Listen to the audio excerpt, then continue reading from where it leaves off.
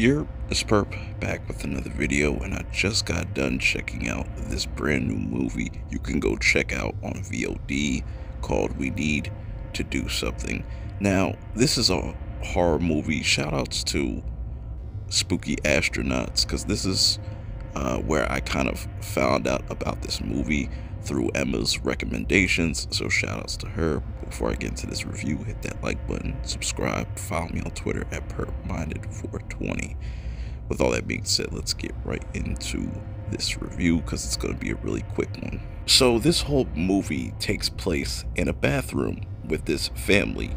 They randomly just all walk in here and I really appreciate the pacing of this whole entire movie because as soon as they get into the bathroom, things start to go left very quickly.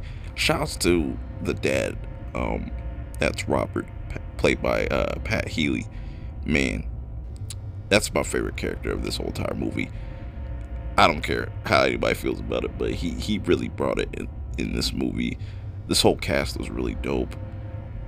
This is something that I wanted out of like American Horror Story because that's what it kind of felt like I was watching. But shoutouts to the the director, Sean King O'Grady, man, he did a really good job with the way this whole movie was kind of shot and just paced. I really like these types of horror movies. This is more of my lane of that psychological horror because you're in a small space. There's a storm happening outside, or at least that's what they think is outside.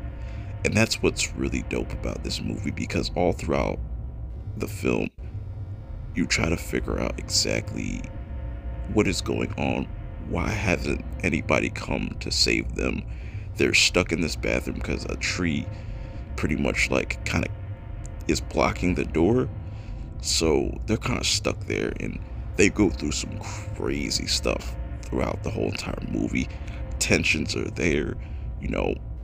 You got the the daughter, uh, Melissa. She's pretty much like the main character she can't go a day without her phone, but she definitely has a big role to play in this whole entire movie. I'm not going to spoil that, but it has something to do with her somewhat girlfriend, I would say, at that point.